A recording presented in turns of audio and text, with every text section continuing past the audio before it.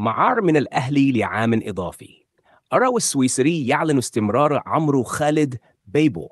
أعلن النادي أراو السويسري عن تمديد استعارة عمرو خالد لاعب الأهلي لموسم إضافي. اللاعب البالغ من العمر 18 عاما هو نجل خالد بيبو لاعب الأهلي السابق ومدير الكرة الحالي. كان نادي أراو السويسري قد استعار اللاعب في فبراير الماضي مع أحقية الشراء. وخاض عمرو خالد ثلاث مباريات مع الفريق.